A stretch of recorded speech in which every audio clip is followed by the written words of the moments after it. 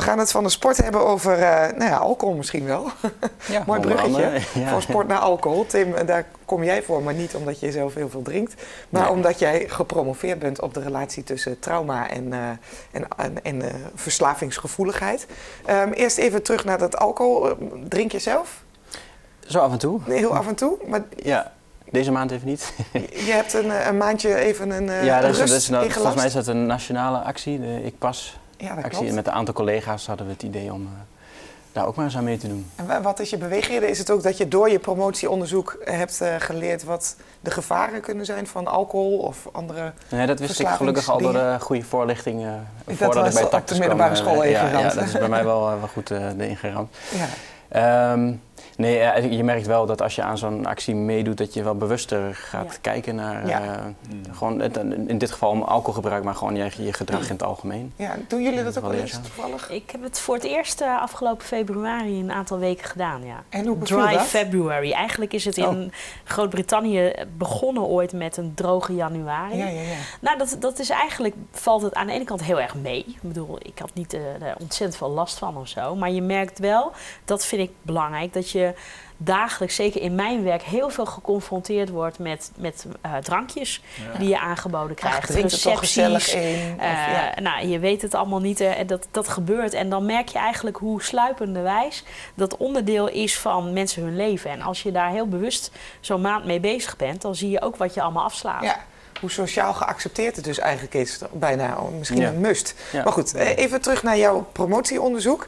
Uh, jij hebt vooral gekeken naar de relatie tussen mensen met een trauma en uh, verslavingsgevoeligheid. Wat, wat is een trauma eigenlijk? Uh, wat moeten we daaronder verstaan? Ja, dat, dat, is sowieso een lastige term altijd om uit te leggen. Um, het, het, het, kan heel breed zijn. Het, wat een beetje de aanleiding voor het onderzoek geweest is, de, de vuurwerkramp op een gegeven moment. En vaak zie je bij dat soort grote gebeurtenissen dat mensen daar psychische, psychische last van krijgen dan. Ja.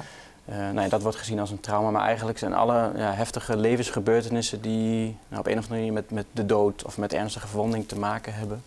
Uh, dat kan potentieel een trauma zijn. Ja, en dat kan dan PTSS uh, opleveren, hè, noemen ze dat. Dat wordt vaak geassocieerd inderdaad met grote gebeurtenissen. Ja. Vuurwerkkamp helaas, uitzending, oorlogstrauma's, noem het maar op. Maar het ja. kan dus ook een auto-ongeluk zijn of iets dergelijks. Ja, ja, en wat je ook vaak, in ieder geval in onze cliëntpopulatie ook wel vaak ziet de, de in de vroege jeugd, uh, heftige dingen die gebeurd zijn. Ja, seksueel misbruik. Seksueel misbruik, uh, en, geweld. En ja. jij bent dus gaan kijken naar de relatie tussen uh, de mensen met een trauma en verslavingsgevoeligheid.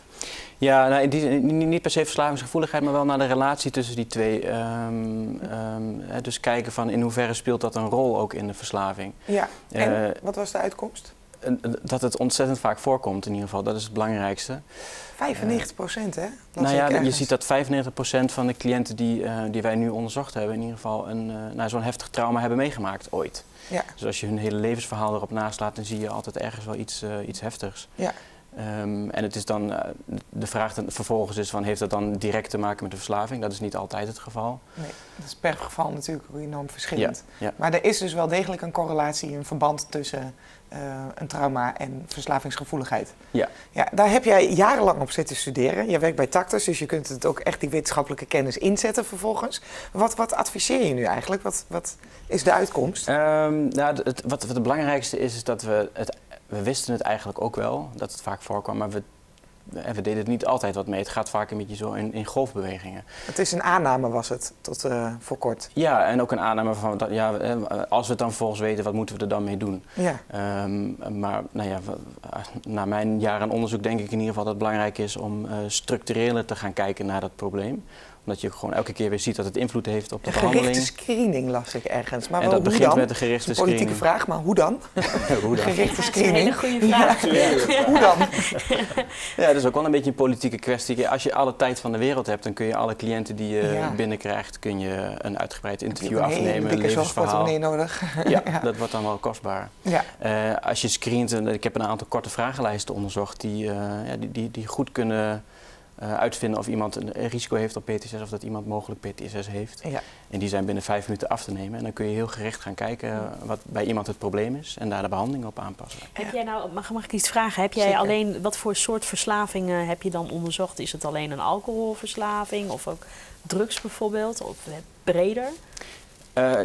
Alles eigenlijk. Ja, nee, we hebben daarin geen uh, keuze geen gemaakt. We hebben gewoon zo iedereen. Het, eigenlijk hebben we een beetje een afsplitsing van de, de cliënten uh, ja, okay. binnen Tactus. Ja. Dankjewel voor je verhaal.